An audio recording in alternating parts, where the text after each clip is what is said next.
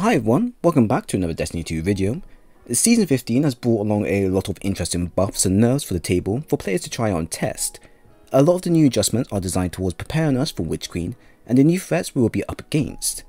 Fusions have received a readjustment for how they work, exotics have been reworked with new or added perks, different weapon frames have been boosted across the board, etc. But one thing that's been introduced which I never thought would happen is the introduction of unlimited primary ammo. I wasn't so much hesitant around the change, but I was indeed surprised that Destiny, of all games, would take this path since Bungie likes us to use everything within our arsenal. This in many ways still retains that ideology, since now we'll never run out of primary ammo in in-game content, and our secondary and heavy won't feel as scarce as before. This unlimited ammo change also buffs certain weapons and perks currently in game.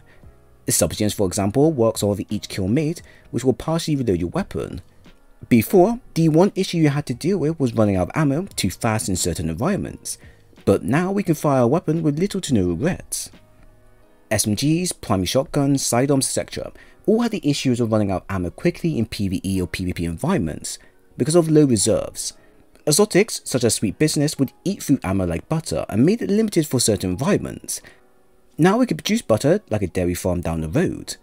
In many ways, the unlimited ammo provided have improved certain items in game because of the reduced ammo and reserves they had.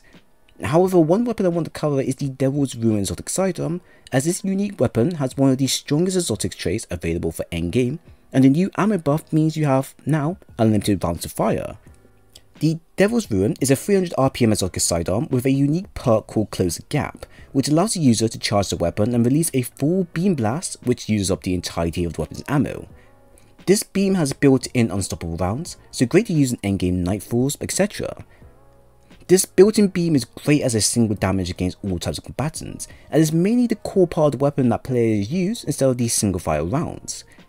As the Devil's Ruin is marked as a primary weapon, it receives the unlimited ammo buff the same way as other primaries do, which means you can use and abuse the weapon's special trait as much as you like.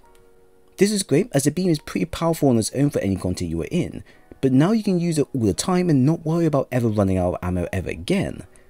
Of course, certain encounters may require you to use something else and something more impactful in the long run, as the beam alone won't make you invincible. We can however build onto this and create something worth using.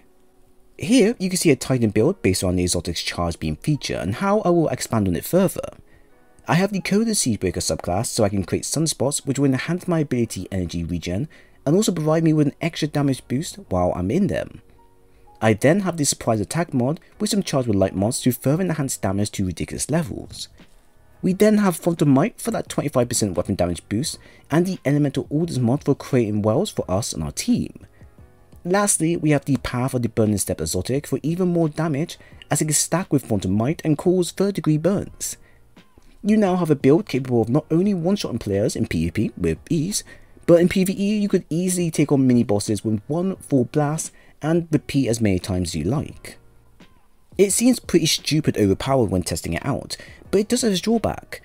After each burst, it does require the user to reload it for you to repeat again, which is quite long.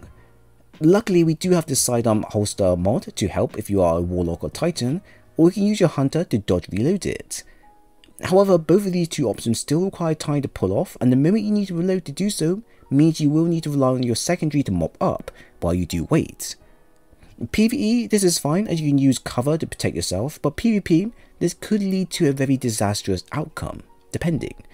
Overall, the ammo buff has allowed Devil's Ruin to become the Hammer of Dawn from Gears of War, and I'm truly loving it.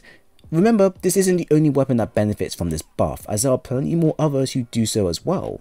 I'll be sure to cover them, just so you know first.